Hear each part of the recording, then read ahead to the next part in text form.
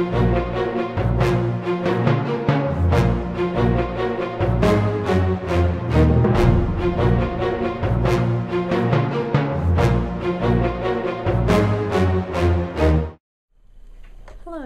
this is Sherry at djssundries.blogspot.com and today we're going to take a break from the animal cards so that we can make a container to hold them in. I find that I'm getting piles of cards built up and so I wanted to make a container. Now, I made this box to put them in and if um, you go to my blog, you'll find a link to a previous box when I gave instructions on how to make it. For now, I'll just tell you that I cut it at the bottom part of the box is cut at 8 inches by 9 inches and then it's scored at one and a half inches all around and then um, trimmed and taped down and then the lid is um, cut a little bit smaller it's cut at six and a half by seven and a half scored at three quarter inches all around trimmed and taped down again you I'll leave a link to where I showed you how to make this box in a previous video um, but today I just want to focus on getting it decorated. So um, in keeping with the animal theme, I went to create a critter and I found this poodle. The inspiration for that was from the K. Andrew Designs All About Animals set was this Poodles of Fun. And I've already planned out my whole set of eight cards and that was one I wasn't going to be using. And I thought, well, that's kind of fun because it'll show that we're having fun.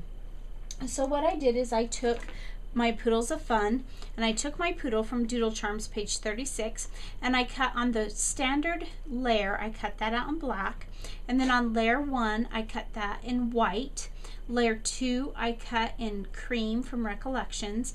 And layer three, I cut in two different shades of purple, depending, I didn't have quite enough to make all the boxes completely match for my base paper. So I ended up changing up the purples just a little bit, but I'll, I'll explain that more when we come to it. And I cut all of those out at four inches. So let's get our box decorated. The first thing I have is I have this paper from, um, I think it's Penny, Penny's Playground.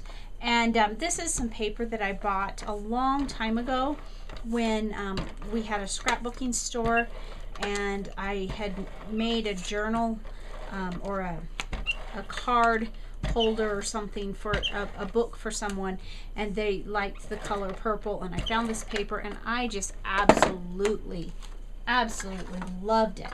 If you know that I love purple and um, so I found this. Unfortunately it didn't come in a set. It was sold by the piece and I bought a few pieces of it. And now the scrapbooking store's closed. So this I actually found in my scrap bin.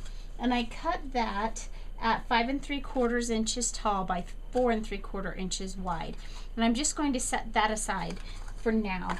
And we'll bring out our base page. Now this is some dark purple that I used um, that I found in my stash. And it matches the purples in there. And then this is orchid um, ribbon from Gifts International. And I'm going to put that on here. And I just already tied the bow just because you know if you've seen my videos that I struggle a bit with bows. And then um, I didn't want to stamp directly on this because even if I use if I use black you it was readable but it was difficult to see so what I did is I took a piece of this light purple and I stamped my sentiment Poodles of Fun. So let's go ahead and put that on. And I'll get that adhered down.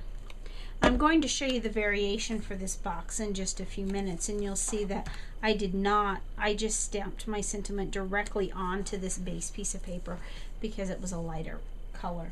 And so now this is my little poodle all put together. You see the white and the pink or the um, black is on the bottom coming through the eyes and the mouth.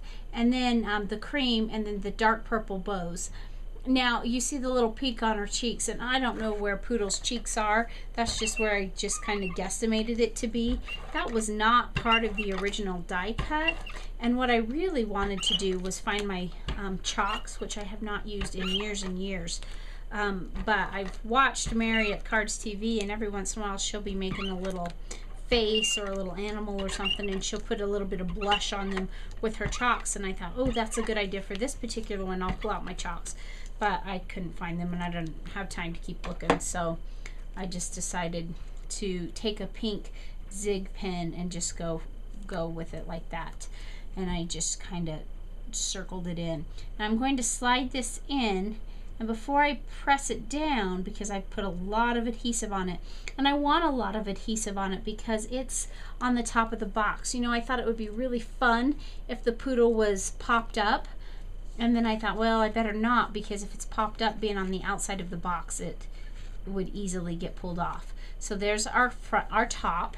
And I've kind of got the little um, piece hanging over the edge and that's okay. It may eventually get folded down a little bit, but I don't mind that at all. It just will add that little extra dimension.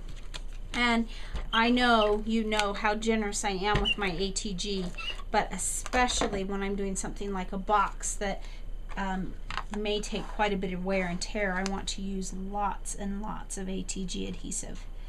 And then we'll just set this down and see by the time we're done here it's not really hanging over the edge at all because it's still on my box so there's the top decorated part of our box now I wish I had cut it a little bit differently I wish I had used the light purple to cut the bows in her hair and I didn't and I really wish I had so now we are ready to put start putting our um, things inside the box now Remember that my goal is to make eight cards. So what I did is I counted out nine envelopes.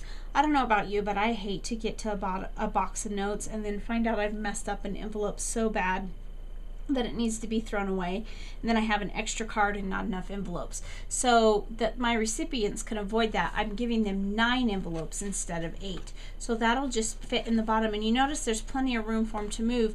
Of course I don't want them moving too much, but I don't want them so snug that they bend the cards or the um, envelopes while they're trying to get them out.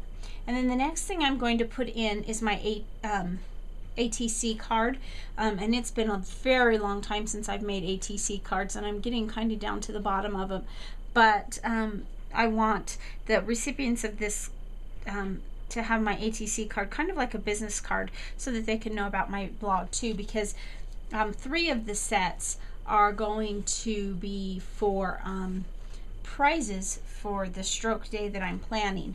And so I want to be sure that my um, they know where to follow my blog. So here are the first three cards. Now, our four cards. And looking at that, I'm not sure we're going to get eight in here. We may end up just doing six. We'll just have to see how it goes. Besides that, I'm really running tight on time. And so that is our completed box, all done. Now, I want to show you the variation before I close. This is the other one that I made. Now, this is what I was talking about with the, the purple. I didn't have enough of this stripe paper to do all four boxes, so that's why three of them were like this. This um, orchid is such a close match to the base paper that I almost didn't use it. I almost pulled the dark purple, and then I thought, no, that was kind of pretty. I gave it a monochromatic look. However, I do wish that I had made the bows you know, maybe alternated the bows and done the dark purple bows on this one and the light purple bows on that one. But that's just something you learn about for next time. So there's um, my card boxes. We have half of the cards done and the boxes are done. So thanks for watching and have a great day.